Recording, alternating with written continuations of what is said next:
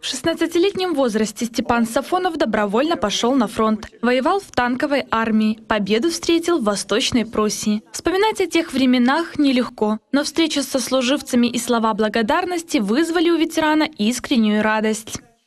Разрешите выразить вот такую э, благодарность такую сегодняшнему мероприятию, посвященное Дню Советской Армии.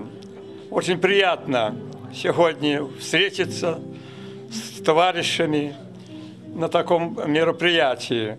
И оно вспоминает о прошлом, которое мы перенесли и пережили на своих плечах – Глава администрации Ленинского района Гродно Иван Курман в преддверии Дня защитника Отечества устроил торжественный прием для ветеранов Великой Отечественной войны, офицеров запаса и действующих офицеров Вооруженных сил Республики Беларусь. Для них была организована экскурсия по музею «Беларусь непокоренная» 10-й гимназии Гродно. Ветераны еще раз смогли окунуться в свои военные воспоминания.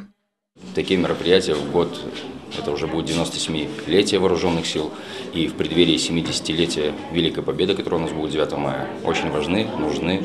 Они хорошо придают импульс военно-патриотической направленности, ну и, конечно же, боеготовности и способности вооруженных сил по защите нашего Отечества. Четыре ветерана Великой Отечественной войны награждены юбилейными медалями в честь 70-летия Победы. Слова благодарности за подвиги и за отвоеванный мир для будущих поколений звучали в преддверии праздника особенно торжественно. Хочу поздравить всех защитников Отечества, всех уважаемых ветеранов, всех настоящих мужчин с этим замечательным праздником. Пожелать всем крепкого здоровья, удачи, всего самого-самого хорошего.